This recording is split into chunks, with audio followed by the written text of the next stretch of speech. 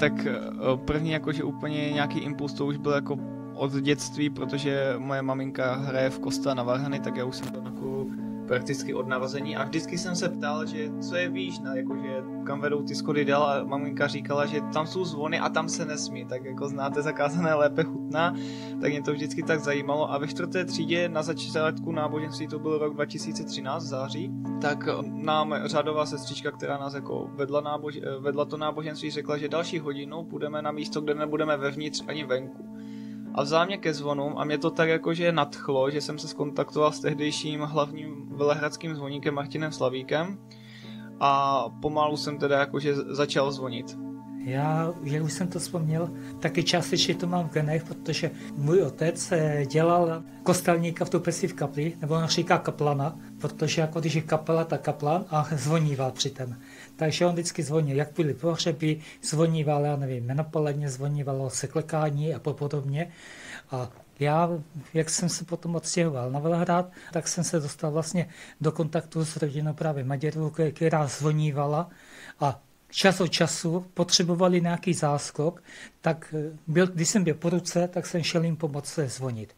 Potom dlouhou dobu nic, a až teď jako v podstatě jako tak dva roky před důchodem a teď v důchodu jsem začal zvonit díky vlastně Davidovi, který mě dovedl. A, takže tak, tak jsem se k tomu vrátil. Ale jako říkám, začínalo to tím, že teďka zvonívával normálně jako normálně na kapeli a podobně, takže on zvonívával pravidelně, tak jsme tam chodívali s ním dívat se a podobně a tím, tím pádem něco geneticky a hlavně potom taková náhoda. Vaša cesta teda k zvonu?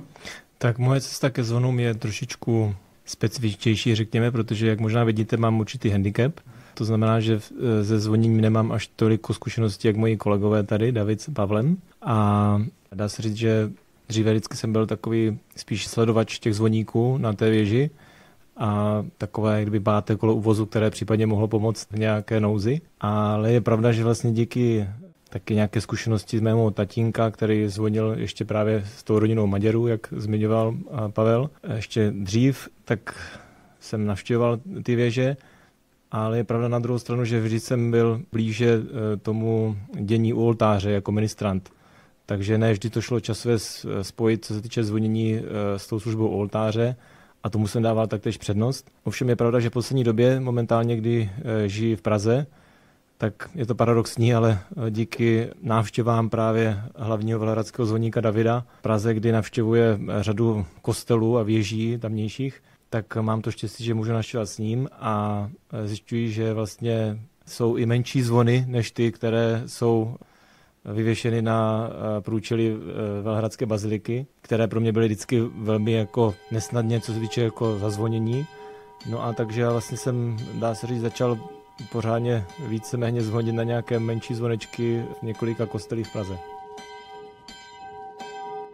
Spomínali ste tu takú zvonárskú velehradskú rodinu. O koho išlo a čo vieme o nich povedať?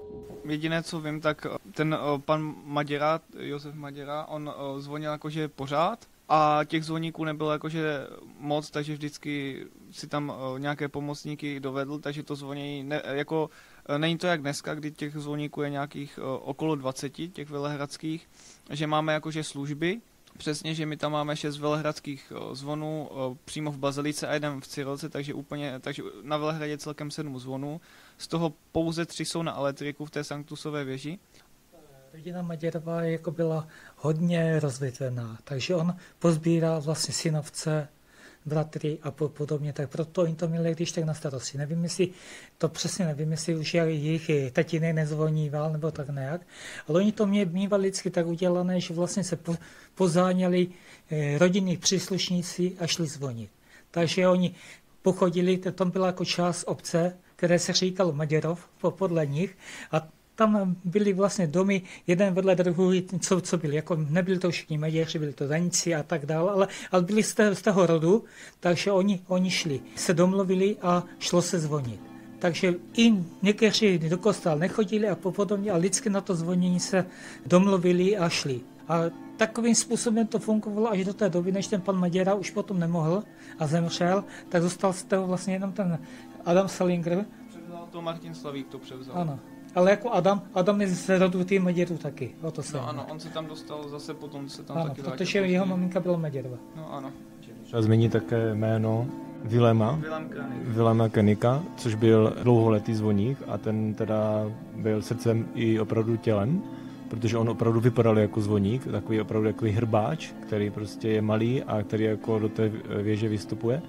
A byl to člověk, který dlouhé roky bydlel v tamnější Velehradském ústavu sociální péče, takže měl to bazilice přímo, co by na tu věž kamenem dohodil a měl to v srdci.